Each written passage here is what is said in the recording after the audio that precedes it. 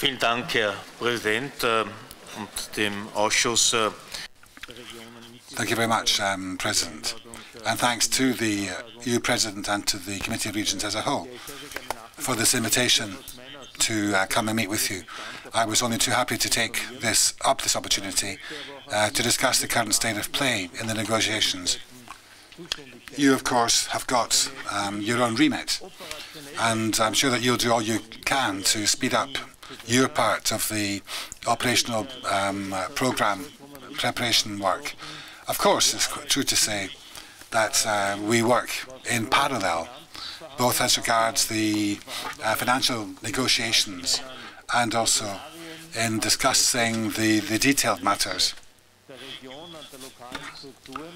Given the and with the regions and local authorities as well, we need those uh, negotiations uh, and the member states as well in order to get um, a prompt agreement on the partnership agreements so that we can then pave the way for the operational programs.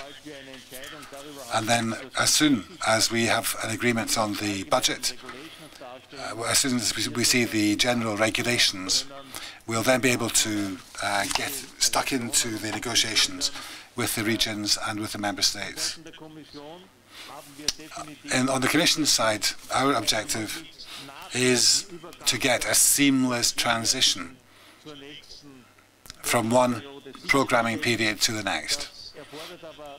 But of course, this does require a, an agreement before the um, summer holidays on the multi-annual financial framework, since this is a precondition if we're going to get an agreement on the regulations in October. Because uh, clearly there is no uh, point in claiming uh, um, linkages in this area, but of course, um, the money which is available uh, this year and also in future years, and we've had uh, lengthy discussions.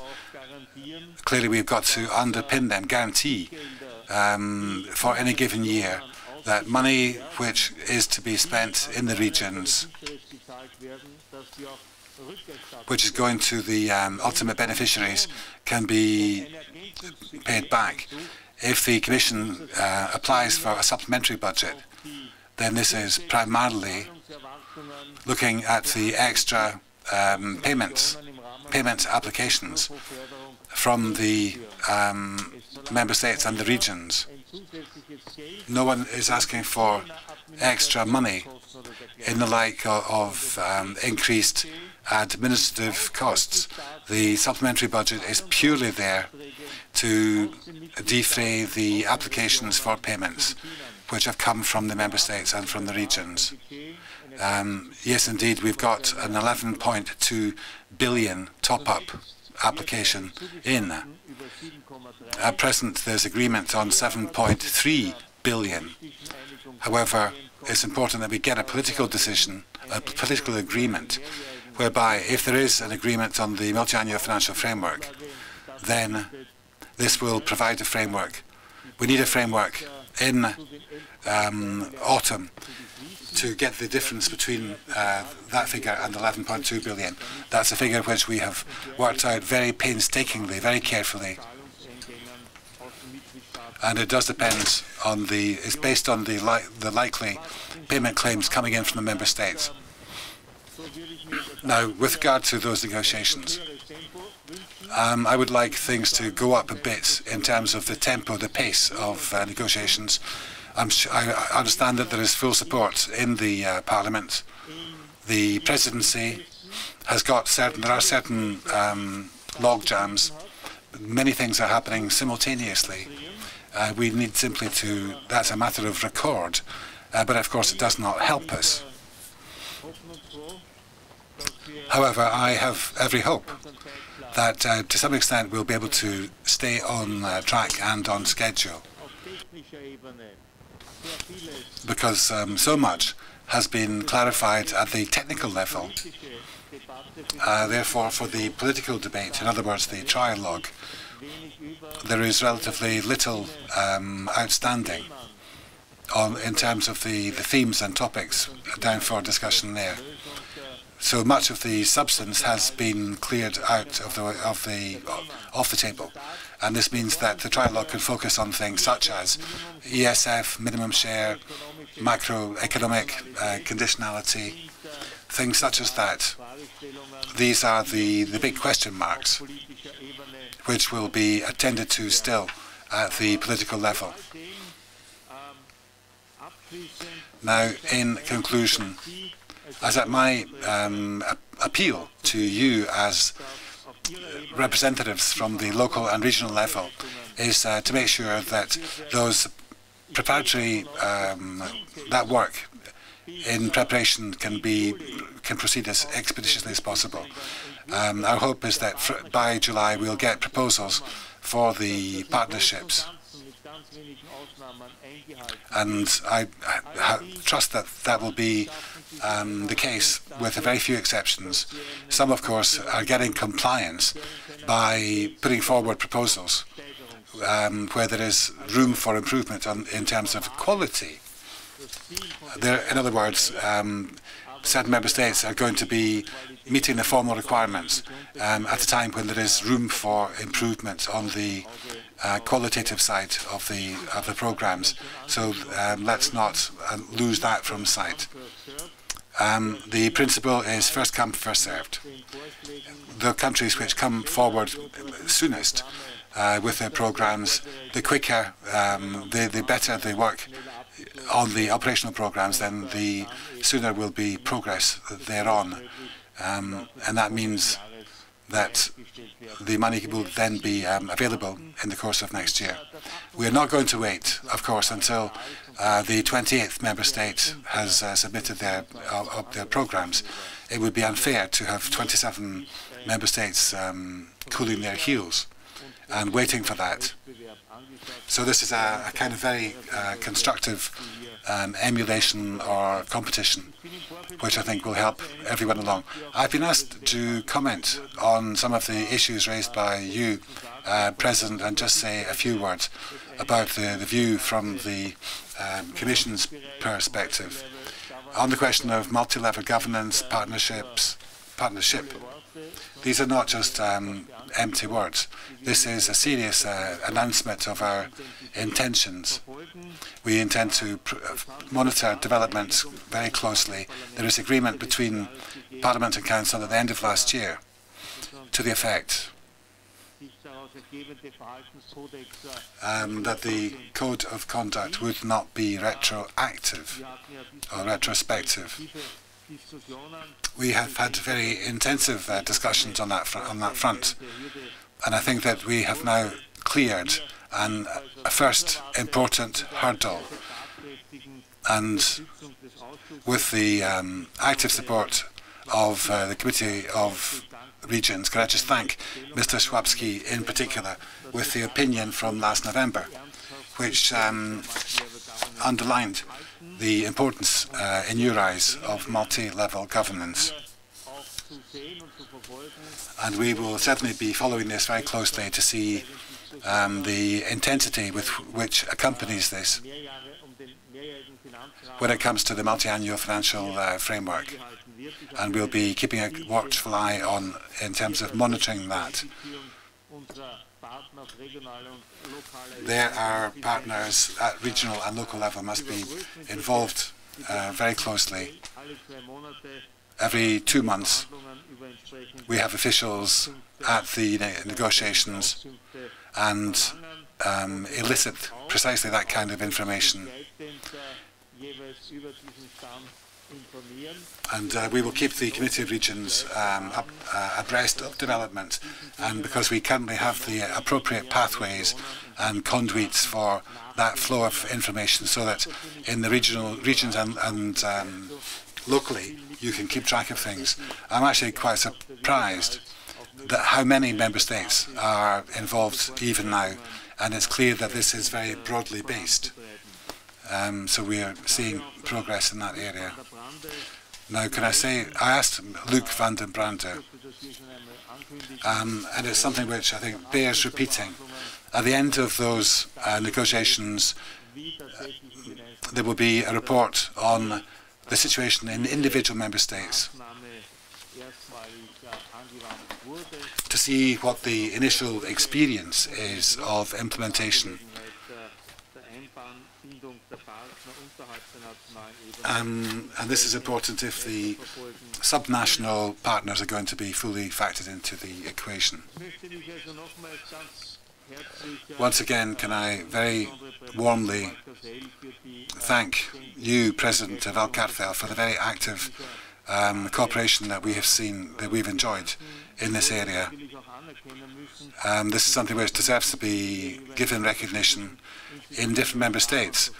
Um, there are different institutional um, architectures. Sometimes it's there's legislation whereby the regions have got um, a more prominent position. In other countries, decisions are taken at the the higher level, as it were. However, we have got uh, evidence evidence to suggest that with a strong regional involvement, um, ownership is more pronounced and this um, stands the member states in good stead at the implementation phase. Uh, so this is our watchword.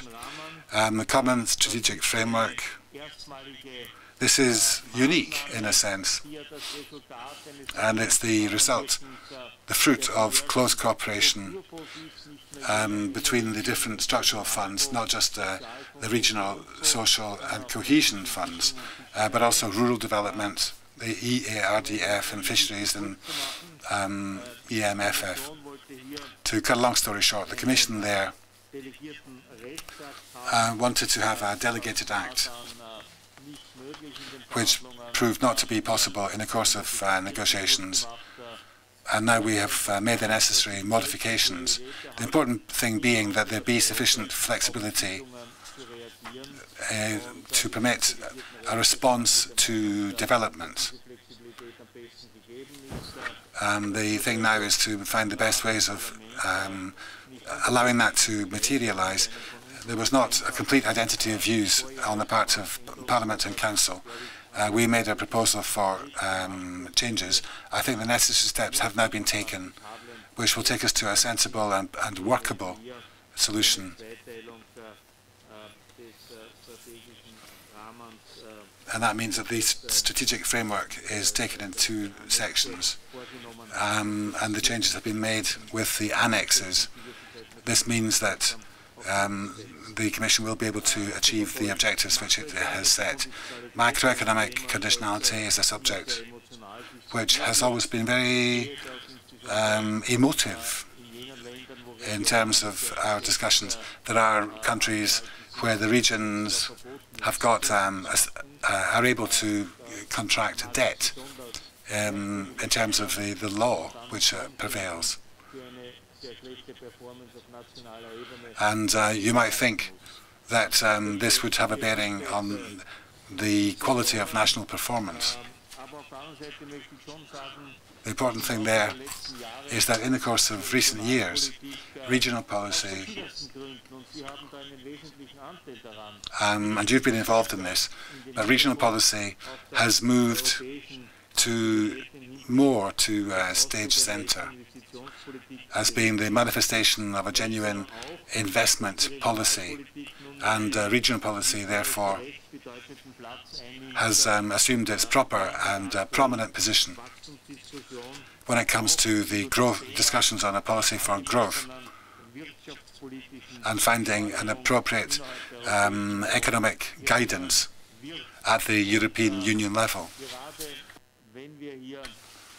And if you look at this um, in that context and recognize that at the end of the day you do need to have a stake, in other words, a, a sanction, a penalty, I would urge you to see the, uh, the sense of that approach. Um, this need not be an emotive thing, although it has raised um, passions. The important thing is that regional policy um, should be implemented by the member states. It's not intended to prevent um, regional policy from being implemented, but it's intended there to provide extra guidance to help to uh, hold the ring, if you like.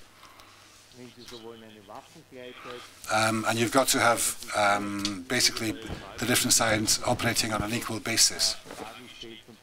And um, having a sanction there, having a stick, as well as the carrot, is perhaps the way to, to do that. That's certainly the rationale, the thinking behind this. Uh, but it's there only as a last resort. Um, and I think that having that instrument available may well be conducive.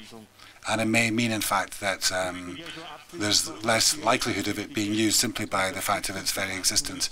Can I thank you also for your support uh, when it comes to the strong involvement of local and regional authorities. I am confident that that will continue to be, well, it will still be required in the next few weeks and months. I think that in the next few weeks and months, um, indeed days, the focus will be on the parallel uh, negotiations. On the one hand, the MFF, the Multi-Annual Financial uh, Framework, and also the regulations. When it comes to the partnership agreements and also the operational programs, uh, that's all very much in the in the pipeline.